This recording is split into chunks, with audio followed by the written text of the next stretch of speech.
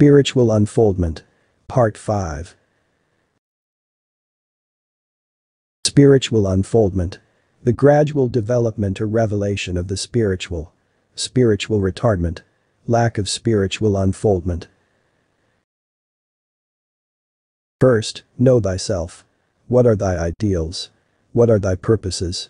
What is the ideal spiritually, mentally, materially? Then make thy ideals conform in thy experiences and in thy activity. Study to show thyself approved unto God, a workman not ashamed, stressing the word where the stress is to be put, according to that ideal, remembering, ever, that the Lord thy God is one Lord.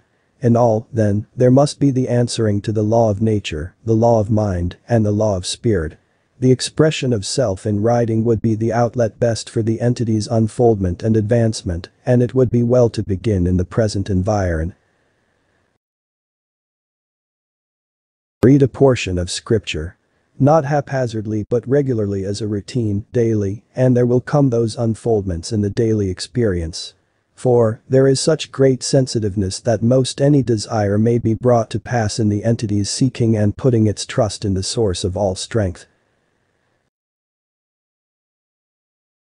If the entity is to be aided and abetted to find its rightful place in the unfoldment of experiences or conditions before it, study to show thyself approved unto God, a workman not ashamed, rightly dividing the words of truth and keeping self unspotted from condemnation of self or of others.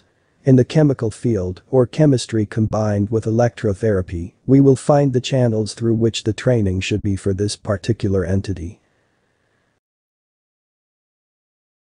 As to the appearances in the earth, we find that these have been quite varied. Not all may be given, but those that may indicate the urges which may be applied in the experiences of the entity for the present unfoldment for being able to live with self. Few people, few individual souls really enjoy the companionship of themselves. Not merely because they love themselves the less or that they despise themselves the more. But their thoughts and things, and the emotions of the body, are seldom in accord one with the other. Or their individuality and their personality don't reflect the same shadow in the mirror of life. Keep the faith, but find self in its daily activities in the service of the Lord. For they who train, who direct the young to the service of the master, shall indeed find in self, harmony, peace. Music ever is a part of the entity's harmony, but as from afar off. These activities, too, should be a part of the entity's unfoldment in and through same. For children. Study then to show thyself approved unto God, a workman not ashamed, rightly dividing the words of truth and keeping self unspotted from condemnation. For unfoldment, know that this tendency for speaking of others' faults, others' failures, should be put away more and more in self's dealings with others. Rather in every conversation, magnify the virtues of others rather than their faults. Am I following the right course of action in the expression and unfoldment of my spiritual work? The try is counted for righteousness. To say this or that has all that is to be offered would be an error. But when one applies self, the ways and the means are shown, provided the activities are carried on as the entity has been heretofore prompted to do. Jesus, the Christ, is the mediator. And in him, and in the study of his examples in the earth, as life. And that ye may have it more abundantly. He came to demonstrate, to manifest, to give life and light to all.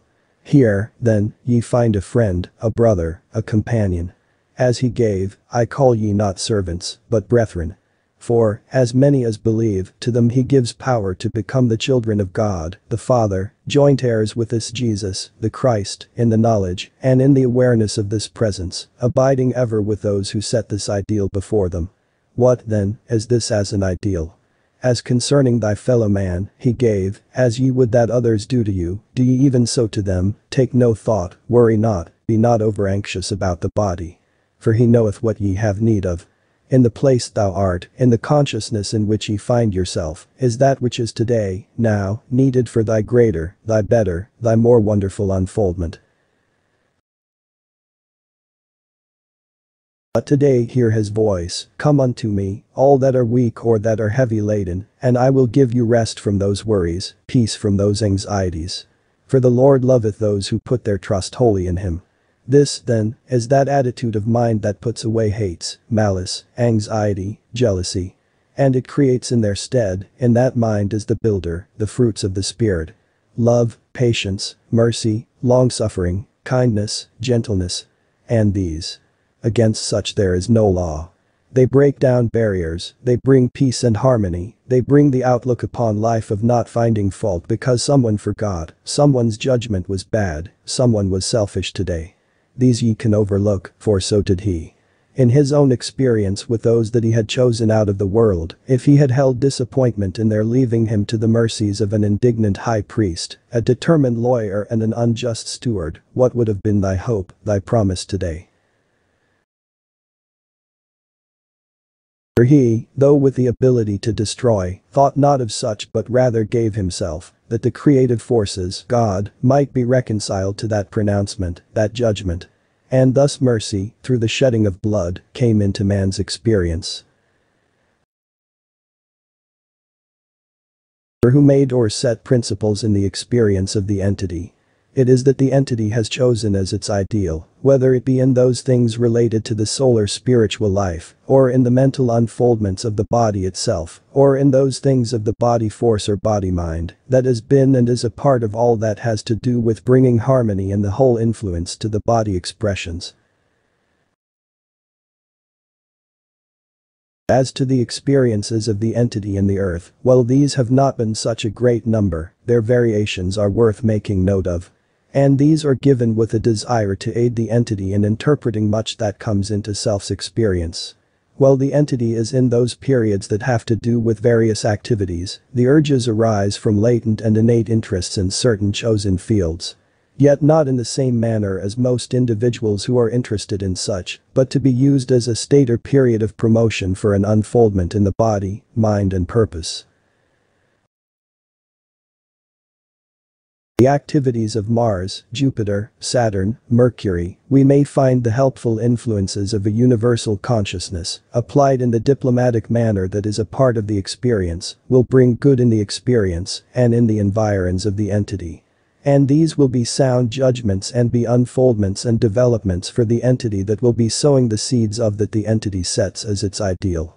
Apply that in the daily experience, then, and we will find life becoming more interesting, more worthwhile. And what is life?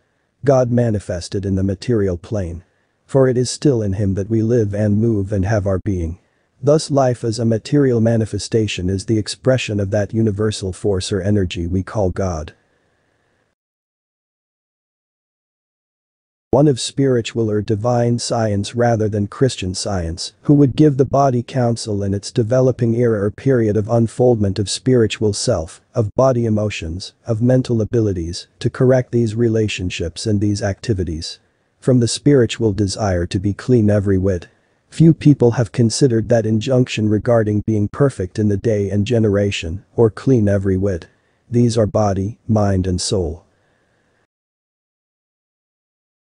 For we would choose from these records that which if applied, in those manners in which there is a greater unfoldment for the mental and spiritual purposes of the entity, will find the entity changing the conditions as related to the physical disturbances of the body.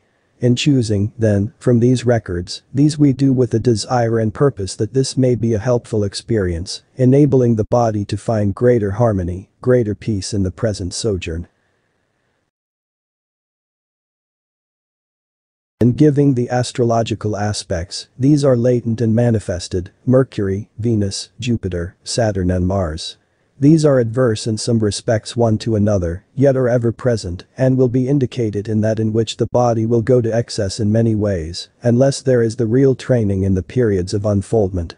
And the entity is beginning to reach that period when, while the spirit must not be broken, everyone should be very firm and positive with the entity, inducing the entity through reason to analyze self and to form the proper concepts of ideals and purposes, and in doing this, we will not only give to the world a real individual with genius, but make for individual soul development. Otherwise, we will give to the world one of genius in making trouble for somebody. First, analyze self. Choose thy ideals spiritual, mental and material. And then so budget thy life that ye will add something daily to each phase of thy unfoldment. Do associate or connect with those activities in which growth in all of these may be thy opportunity. Great opportunities are offered thee in this experience. Don't miss them.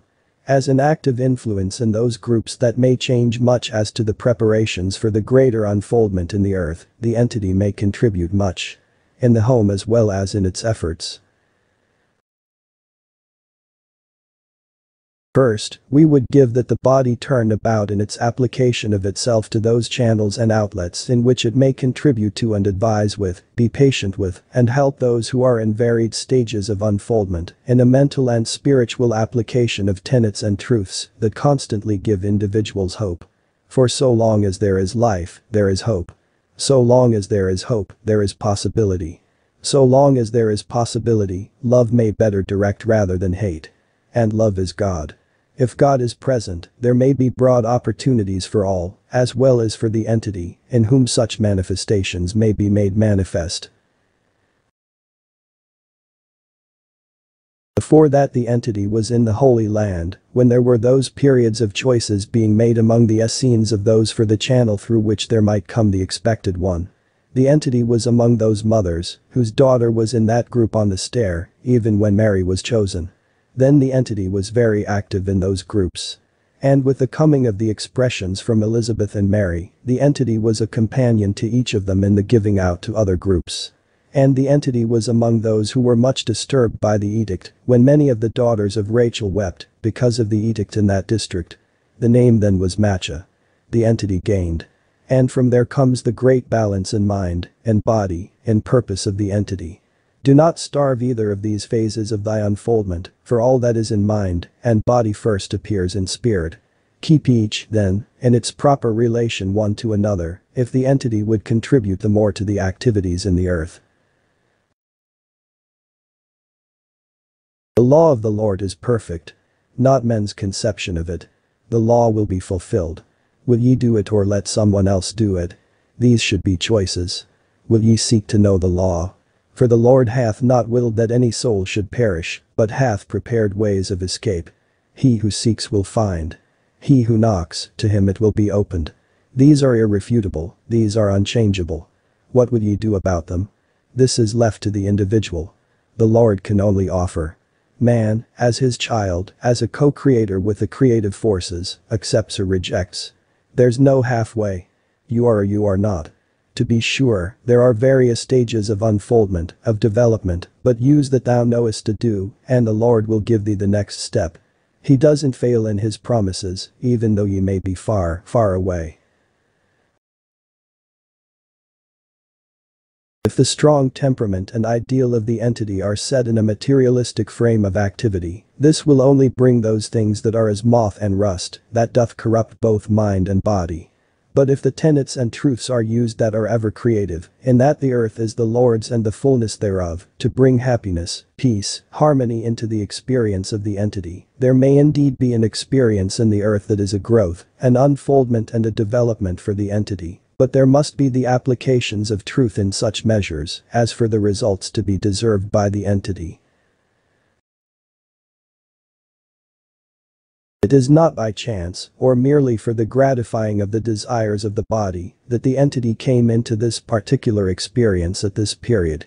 For the entity's own unfoldment it was needed, as may be indicated in the environs that have been brought to the body itself, as to how patience and long-suffering are to be shed in its own immediate environ and never lost sight of. For these are materially manifested in associations one with another. There are abilities in abundance within the entity for activities if they are put into use from the seat of the spirit of truth and not from those of hate, malice, jealousy, the things that make people afraid, those things that cause timidity within the associations, and fear. For as has been so oft quoted and so little interpreted in people's lives, the consciousness of God's presence, as manifested in Christ, casteth out fear. Casteth out fear. And shall make one free indeed. Not free in that of lewdness or selfishness, but in the way of a new commandment I give you, that ye love one another, even as I have loved you. This the freedom that makes, as it were, for this body the whole world akin and less and less of those things that have disturbed the body in its relationships with others, in relationships in its home and with its neighbors. There have come through the various periods of man's unfoldment, teachers proclaiming this the way, here the manner in which he may know, and yet in the teacher of teachers is found the way, he who even in himself fulfilled the law.